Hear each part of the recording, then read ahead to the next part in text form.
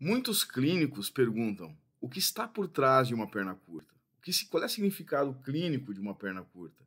Muitos pacientes também perguntam: ah, eu gasto mais sapato de um lado do que do outro. Eu sinto que a minha perna parece mais curta. Mas, enfim, o que é uma perna curta? Qual é o significado de uma perna curta? Bom, antes de tudo, eu gostaria de explicar que existem dois tipos de perna curta. O primeiro tipo é a perna curta fisiológica e o segundo tipo é a perna curta anatômica, o que nós chamamos de anisomelia estrutural. Então, a perna curta anatômica é bem mais simples de entender. Então, nós temos aqui um exemplo de perna curta anatômica, aonde simplesmente uma perna é menor que a outra. Então, se nós traçarmos uma linha na cabeça do fêmur né, uh, e outra linha na base né, do solo, podemos observar que a medida do osso propriamente dita né, tem eh, mil milímetros de um lado, na perna esquerda, e mil milímetros do outro na perna direita. No entanto, em algumas situações, a altura do solo pode até ser a mesma de uma em relação à outra, embora elas tenham comprimentos diferentes, porque o quadril aqui ele pode se alinhar de uma forma a compensar essa distância. Então, muitas vezes uma medida de até 2 centímetros de discrepância de anisomelia estrutural, ou seja, a pessoa que tem uma perna curta anatômica, ou seja, tenha 2 centímetros, até 2 centímetros de osso a menos, ele é, pode ser, de certa forma, compensado pelo organismo, pelo, pelo desalinhamento pélvico. Ou seja, a pelve vai promover um desalinhamento que vai compensar essa deficiência anatômica óssea, essa falha do osso. Então, essa é, a, digamos, a perna curta, chamada perna curta anatômica, onde falta uma parte do osso. Isso é devido à, embriogênese, né? no caso, ou é, se não foi desenvolvimento embriológico durante o crescimento, é, ou alguma infecção, um processo traumático, né? algum evento patológico. Tá?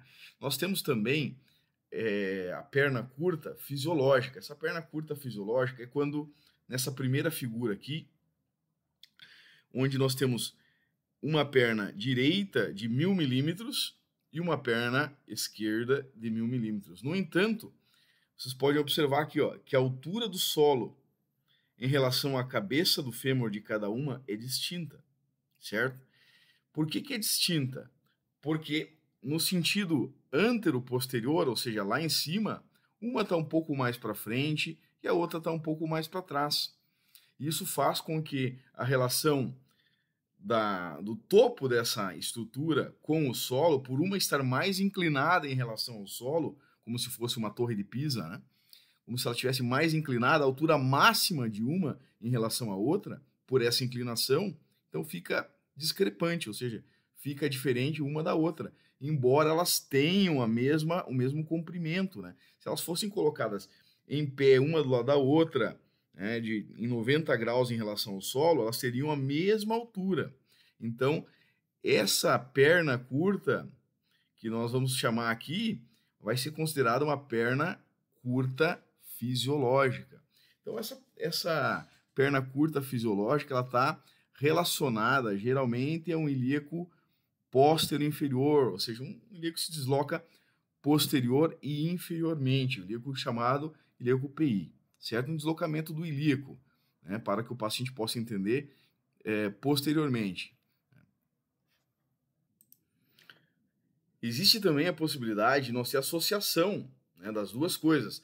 O indivíduo pode apresentar uma perna, uma perna, uma perna mais curta anatomicamente e também apresentar uma perna mais curta fisiologicamente. Ou seja, ele pode ter uma perna mais curta, vamos supor, é, 5 milímetros ou 10 milímetros anatomicamente e mais 5 milímetros por causa de uma disfunção pélvica.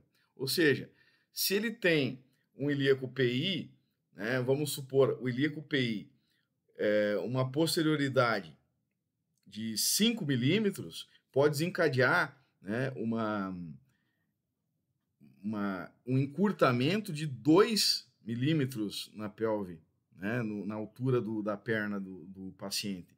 Então, esse, essa alteração do, do, do ilíaco PI, posterior inferior, ou seja, da, da, da disfunção pélvica aqui, pode se somar à disfunção óssea que ele tem, que é uma falha, uma diminuição da, do comprimento ósseo. Então, é, nós podemos então somar a deficiência da disfunção pélvica, que é uma disfunção fisiológica, ou seja, o osso está mais para trás, né? a pelve está levando o fêmur mais para trás e ele está mais inclinado em relação ao outro, a outra perna, o outro osso, fazendo com que ele fique mais baixo em relação ao solo e além disso a perna é menor anatomicamente. Então essas duas, é, digamos, é, diferenças, essas duas, essas duas somas vão acrescentar na discrepância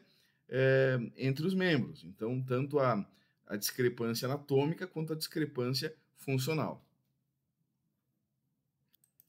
Em alguns casos, em alguns casos é possível que haja até uma compensação. Então, o paciente pode haver uma, uma desigualdade estrutural que pode ser compensada com uma disfunção pélvica. Também é possível.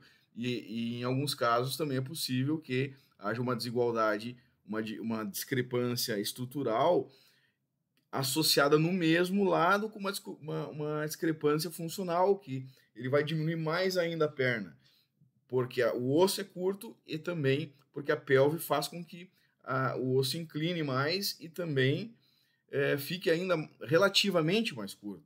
Então pode haver uma alteração compensatória ou uma alteração descompensatória, né, que aumente mais ainda a perna curta, somando os aspectos funcionais e também estruturais.